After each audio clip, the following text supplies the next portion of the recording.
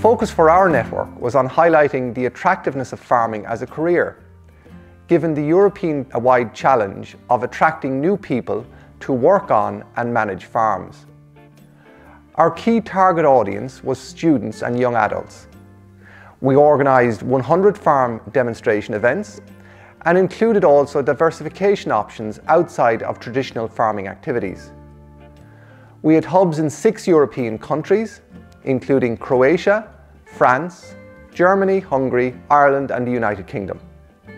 Our demo events mainly featured new or recent entrants to farming, sharing their story and experiences with the demo event participants. Our events also provided an opportunity for us as facilitators to apply the lessons from the Farm Demo Toolkit in planning, delivery and evaluation. The most successful demos involved motivated farmers with an interesting story to tell and with plenty of opportunities for the participants to see, touch, taste and smell. We were also pleased with our online Farm Attractiveness Week during which we delivered a coordinated series of digital events over the course of one week. Hub coaches learned over the project how to attract more attendees and the value of open discussion between multiple actors at their demo events.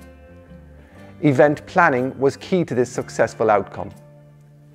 In summary, Nefertiti provided our network the opportunity to develop our skills in farm demo delivery to get to know and develop strong relationships with colleagues across different EU countries and contribute to the promotion of farming as a career.